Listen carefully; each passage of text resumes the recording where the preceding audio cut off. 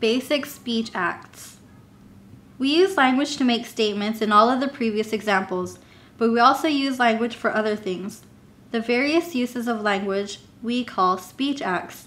A number of different speech acts are indicated in Klallam by putting a little unstressed word after the verb. Two of the most common uses of any language are to tell someone what to do and to ask someone a question that can be answered with a yes or no. Every language has special parts in its grammar for these uses. These speech acts are particularly easy in Klallam.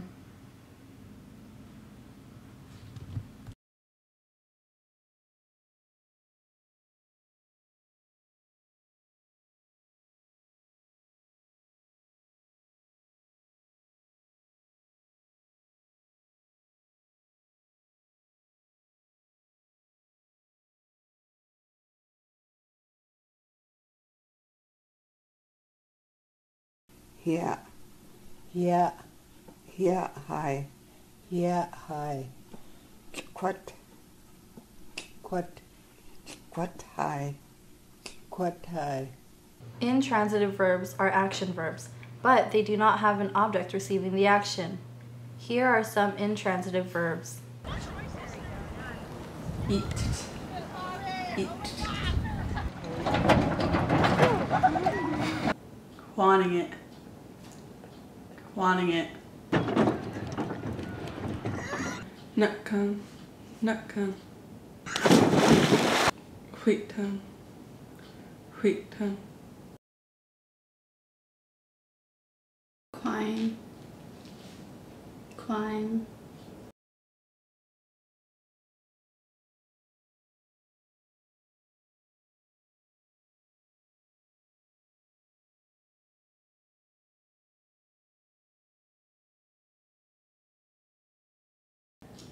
Stung.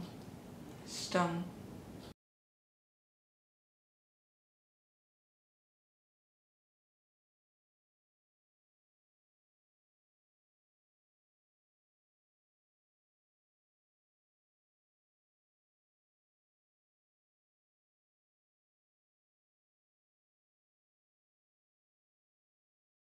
Stung. Stung.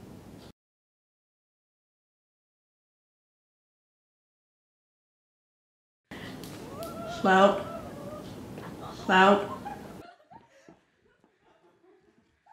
Eat sun. Eat sun.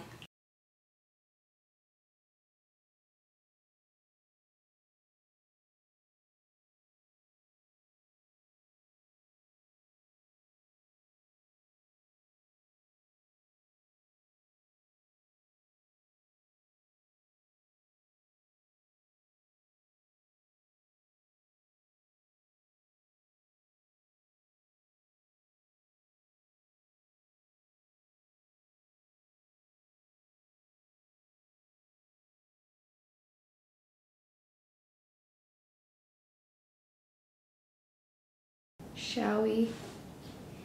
Shall we?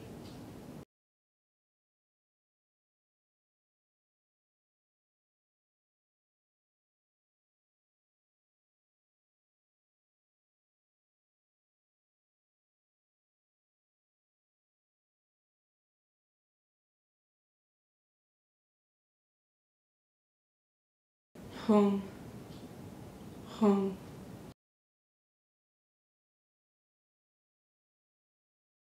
For a more polite command, add qui. This makes it more like a suggestion than a command.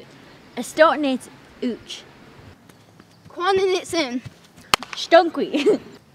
Estortnaquatcha. Hiat qui. Hiat qui hi. Quat qui. Quat qui hi.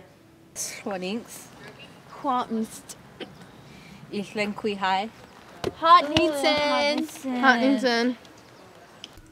Sentences giving commands are also called imperative sentence. In English commands, there is an understood subject, as in go or take it. The same is true for Klallam.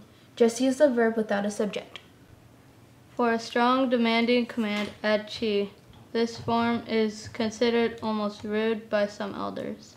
For a more polite command, add qui. This makes it more like a suggestion than a command. It can be translated various ways in English. The models use should, but you could also use ought to or why don't you. Note that when you're talking to more than one person, you should use hi, and the chi or qui comes before it. Note that the speech act particles are never stressed. Hiat chi. Hiat chi hai. Quet chi. Quet chi hai. Na, es doch jetzt hübsch. Jetzt die Stretchy, stretchy. Stop. Here, quite. Oh.